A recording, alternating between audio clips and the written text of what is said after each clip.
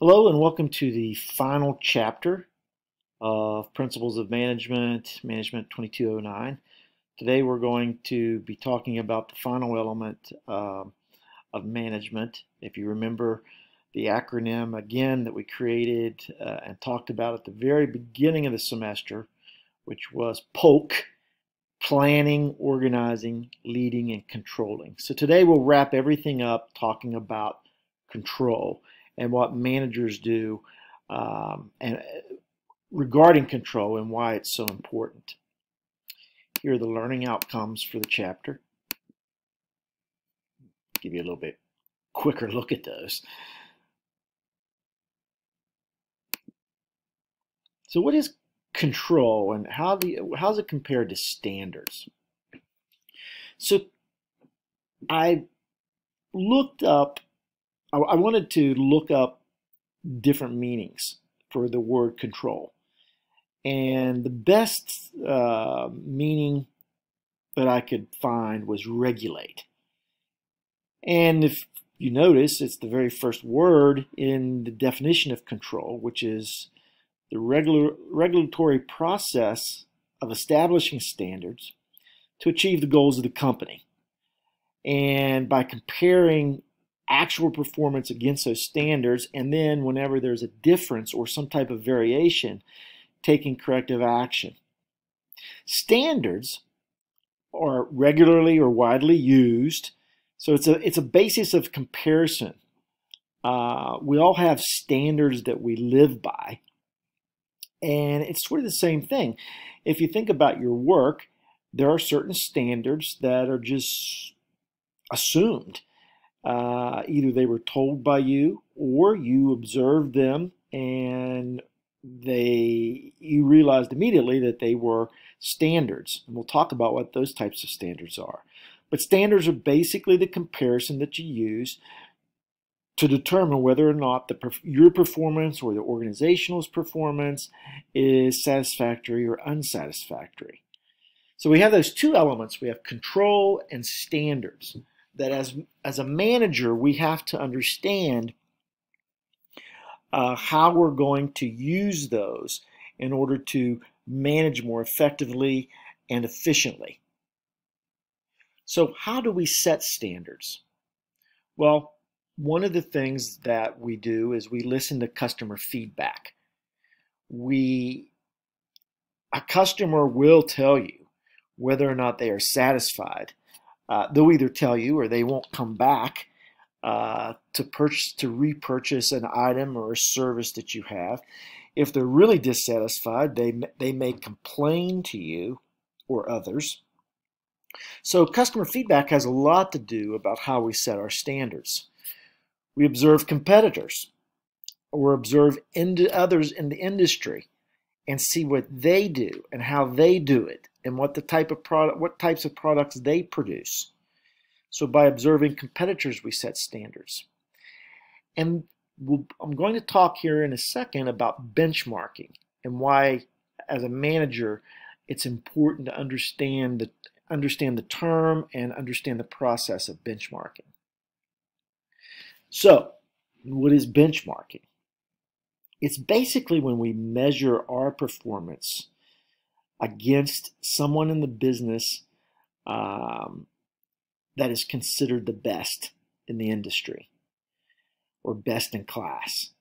So the point of benchmarking is to identify opportunities within the company that we can improve on and try to match or exceed those that we are measuring against such as a competitor or someone else in the industry that is considered the best at whatever we're comparing. Um, so it involves identifying companies to benchmark against so we can set those standards, collecting data, and also imitating the process of that company that we're benchmarking against.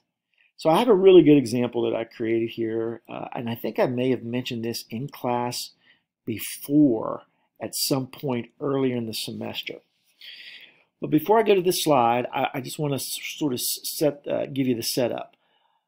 Um, for years, delivering packages, this is pre-overnight delivery, was uh, delivering packages quickly across the country was very expensive because it, it entailed so much work uh, from the company that was delivering these packages. A company came on the scene that disrupted the overnight delivery uh, package business. That company was FedEx. FedEx became the benchmark of overnight delivery. And the reason they became the benchmark that UPS and the United States Postal Service and all the other DHL, all the other overnight companies, overnight delivery companies, compared themselves to was because they did it so uh, efficiently and they did it so uh, proper that they were considered the best. And the, the, simple reason why they were the best is because they developed a uh, spoken hub delivery system. And I again, I thought I, I think that I mentioned this before, but if you take a look at the hub and spoke network of FedEx, you'll notice that from every city in the country, an overnight package is shipped directly to Memphis, Tennessee. That's their hub. And then from Memphis, Tennessee, they are the packages are sorted and shipped out again. This is the most efficient way to deliver overnight packages. Even if you were in Fairmont, West Virginia, and you were overnight uh, sh shipping a package to Charleston, West Virginia, your package is going to go from Fairmont to Memphis, from Memphis to Charleston. That is the most efficient way and the quickest way to get it there. Now, obviously, driving it from um, Fairmont to Charleston would seem the quickest way. But when you're dealing with so many packages and from all over the world, the hub and spoke network is the best way to deliver. So FedEx became the benchmark of that type of that in that industry and everyone emulated them and imitated them. And so that's what benchmarking is. Uh, and we can do it ourselves as managers. If we are managing people, there may be someone that we really admire as being a really good manager. We could benchmark ourselves against them. That would be a way to improve our standards and to always exceed our expected performance level. So once we've set standards, what do we do with those standards? Well, let's talk about comparing comparison to standards and corrective actions. So when we compare our standards, um, we're trying to determine whether or not we were we are underperforming or overperforming. If we are underperforming, we may have to take corrective action, which means basically trying to identify that difference or that deviation, analyzing those differences or deviations, and then developing some type of program and implementation process to correct those deviations or differences. So I'll give you an example in sales. Uh, if you were a salesperson and every month you were to make uh, 200 cold calls, which means you just basically go knocking on doors of businesses, seeing if they need your product or want your product. Maybe it's advertising or or whatever. And so 200 cold calls is, is your first goal or your first standard. And then let's say that your uh, sales goal is, we'll just pick a number and say $25,000 a month. You need to sell whatever you're selling, you're selling $25,000 worth of it in the month. At the end of the month, if your sales goal uh, or your actual sales is only $20,000 and you fall $5,000 below your standard, and the number of cold calls that you make was only 125, well below the standard that was set, then there would be some some type of corrective action that may have to be put into place. One, it may be additional training. Two, it may be some guidance from the manager who might even go along with you several days during the month to, to show you how to make enough calls. Uh, maybe you're doing something uh, wrong, you're wasting time, or you're spending too much time on each call, or maybe you're just not working at all. Whatever it is, uh, some type of corrective action might be put into place. But all types of jobs, all types of positions uh, use this, some variation of this type of process where you look at your standards and uh, you compare them based on your actual performance and determine whether or not corrective action needs to take place. Here's just a basic, what, what the, the authors call a cybernetic control process. Cybernetic meaning staying on course or, you know, keeping up with the standard. You set your standards. If you take a look at the right hand side of the graphic, you set your standards, you measure the performance, you compare your performance with the standards, and you identify deviations. If there's deviations, you analyze those and you develop some type of corrective action program. And then you go through the process again. Now, you may identify that the deviations are on the positive side now, that's a good thing, but it could be that if you see a, a wide deviation of positive uh, differences, in other words, people are really overachieving, maybe the standards are set too low. And, this, and so standards may have to be reevaluated.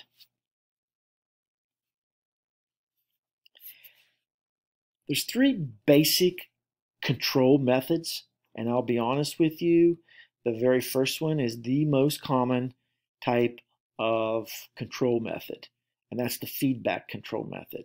This is where we gather information about our performance deficiencies after they occur and then use some type of corrective action to prevent those uh, performance de uh, deficiencies from happening again.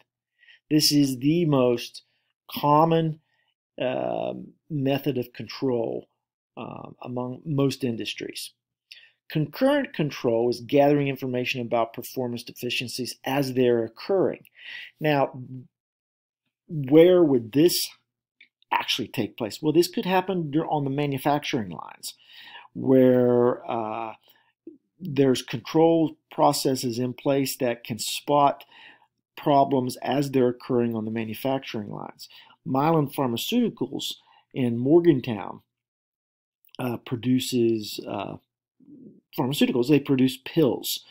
There are people that actually will stand on the line uh, observing those pills as they come out of the press to see if there's any deficiencies or abnormalities uh, with those pills as they come out of the pill presses. If they see a continued uh, um, trend of abnormalities, they may stop the line uh, to see exactly what the problem is. That would be a concurrent control. And then there's feed forward, feed forward control, which is just the opposite of feedback, where you're monitoring performance inputs to minimize performance deficiencies before they occur. So this may be making sure that you set the correct standards, that you make sure that all the inputs are of high quality, making sure everyone understands exactly what they, they're doing. So feed forward control happens pretty much simultaneously all the time with a lot of the other controls because you're always I mean, you've heard the uh, saying garbage in, garbage out. This is where uh, you would make sure that the quality is uh, quality levels being looked at and tended to before production begins. So maintaining control, is it worth it?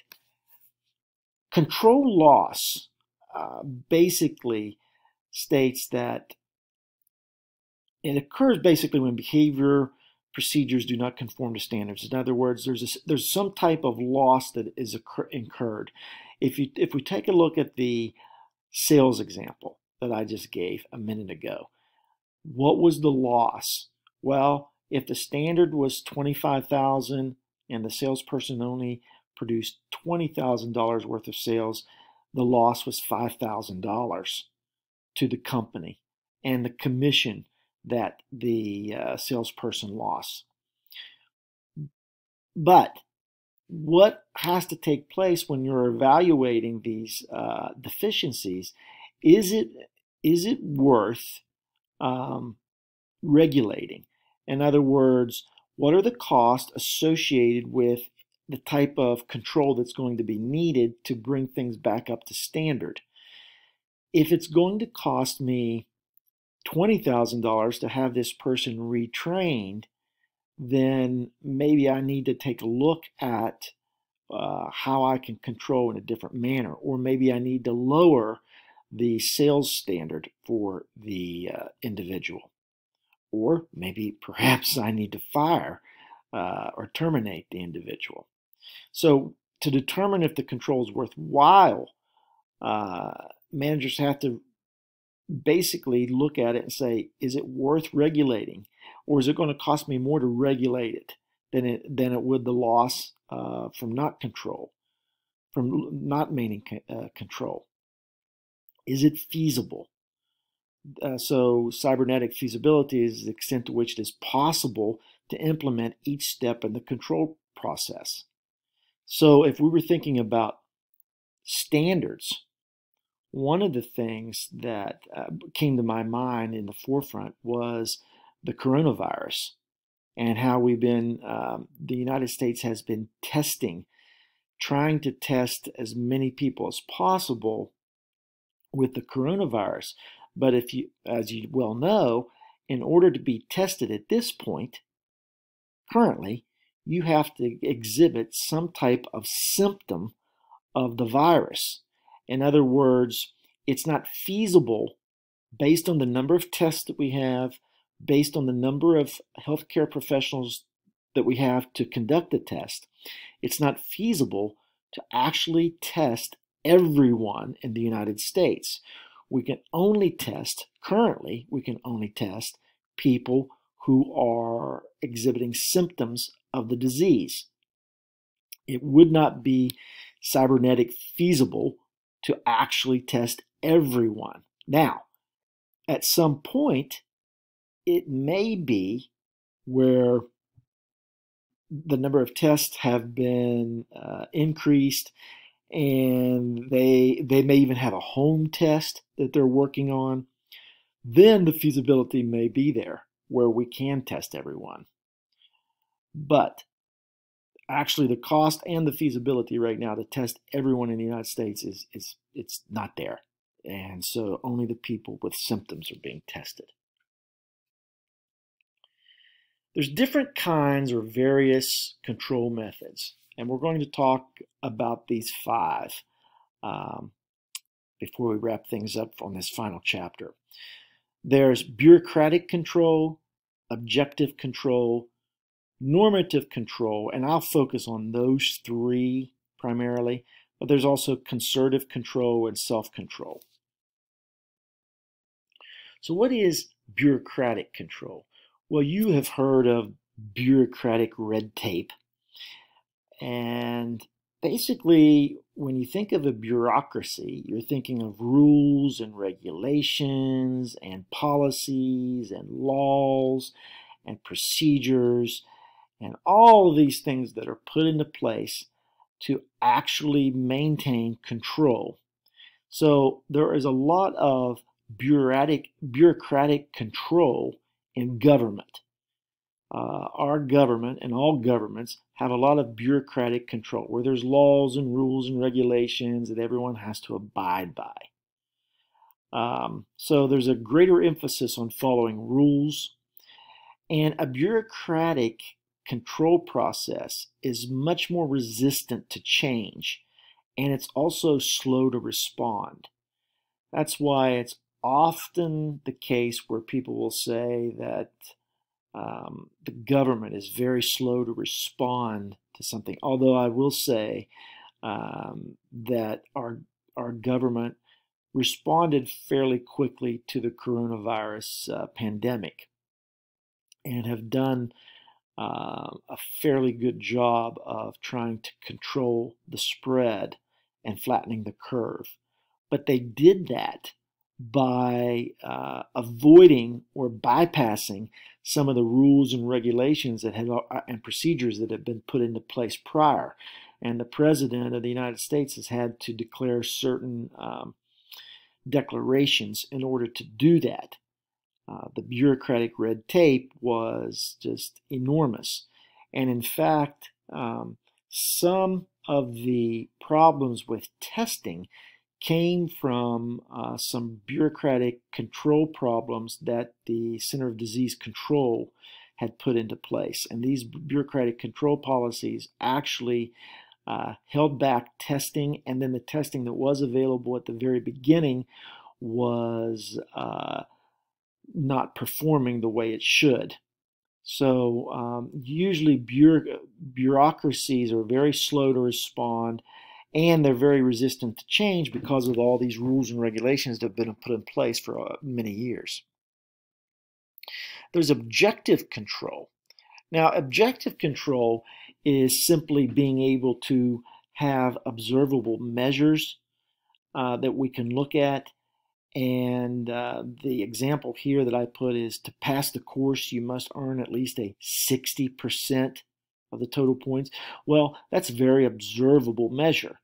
You can take the number of points that you've earned throughout the course uh, and see if it's at least 60% of the total possible points for the course.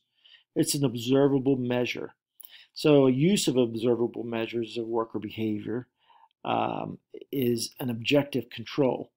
And there's two types. There's behavior control, where we there's the regulation of behaviors and actions that workers actually utilize and perform on the job. And there's output control, where we look at workers' results and via the rewards and incentives that we uh, that we give. So objective control, just think of it as being objective meaning that you actually see or measure uh, and determine whether or not the uh, the uh, performance is meeting expectations. Normative control is, and I'd mentioned this earlier in the uh, in the presentation. Um, normative control is where we workers' behaviors and decisions are regulated basically through the organizational, how the organization has been set up and the values and beliefs of the organization. So think of it this way. There are certain standards that you uh, set in an organization, and those standards are followed through through everyone. And you can actually um, observe or listen to people um, listen to stories about how things have always been done. And so that's that's one thing you'll hear from some people. Well, we always do it this way. This is the way we always do it. That's a, a type of normative control. I'm trying to think of an example for you all uh, here at Pierpont. One of the things that some people might say is to get a good grade, you need to attend class. So if you're in a face-to-face -face class, unfortunately we know that things have changed this semester because of the virus, but if you think uh, about it, attending class relates to good grades or better grades. That's a normative control. We know that that's how it's been in higher education or in school in general. And so it's that's a type of normative control.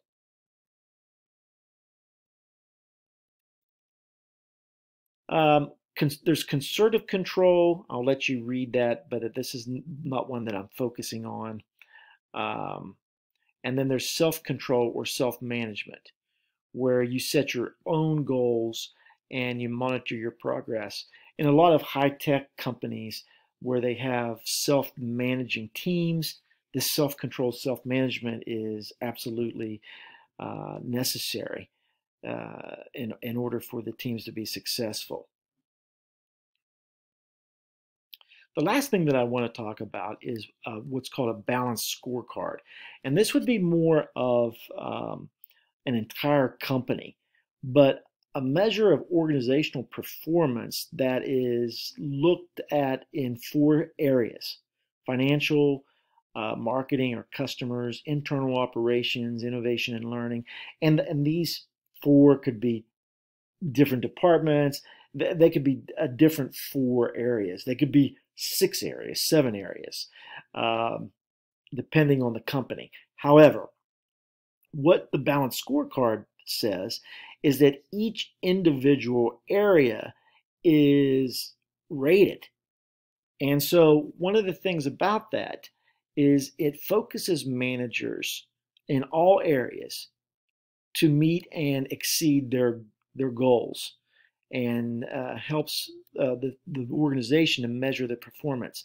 It minimizes the chances, chances excuse me, of sub-optimization, meaning that we don't steal from one area to do well in another. In other words, we want all areas of the organization, all departments of the organization to meet or exceed expectations. So improved performance in one part of the firm is not at the expense of another part or another department. So a balanced scorecard minimizes the chances for that because every area is being, the performance is being measured in every single department.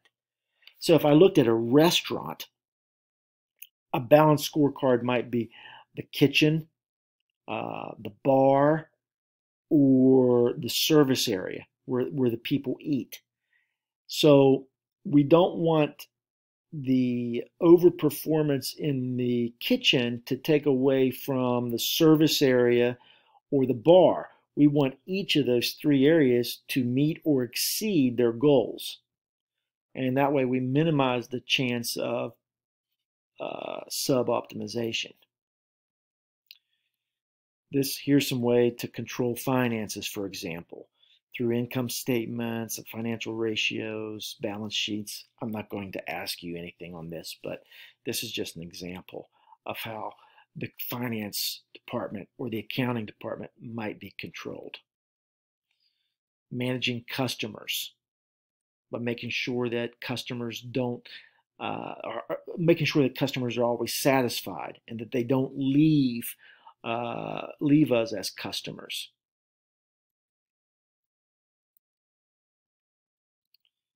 And this gives you an example of the innovation and learning perspective. And that pretty much wraps up the final chapter. Uh, there is a chapter 14 and combination quiz of both chapter 14 and 16. It's 10 questions, not all that difficult. I will tell you that most of the questions come from chapter 16, but there are two or three questions from chapter um, chapter 14. So just if you can uh, review that once again, and you should be ready for the quiz. I will tell you that there is a um, there will be a recap video uh, that will be uh, posted on uh, sometime next week, the week of April 20th. If you have any questions uh, regarding the course, uh, let me know. I, am, I, I do know that um, it, this semester has been uh, difficult for everyone, but I think it's been especially difficult for us in this class. We, it was a hybrid class. We only met once a week. Our second and third week was taken away from us because of a holiday and then, if you remember, campus was closed because of a water break. And uh, I hope that you you know you you, you got enough out of this class, uh, but you we have been behind the eight ball. So I am not going to. Uh, what I mean by that is I am going to take that into consideration uh, when ass assigning the final grades. I want you to know that I will be lenient on the lenient side. I will grade with a curve. Uh, I want everyone to make sure that um, the the people who attended and took the quizzes and did you know major grades. I mean, there will be grades, but uh, I do want you to know that I, I, I do understand that this class is uh, has been up against the wall a little bit more than the others. So anyway, there will be one final video that I will post next week, and uh, that'll sort of be our uh, bon voyage or farewell uh, video. Again, I hope you're staying safe, keeping uh, social distance, and talk to you on the final video next week. Take care.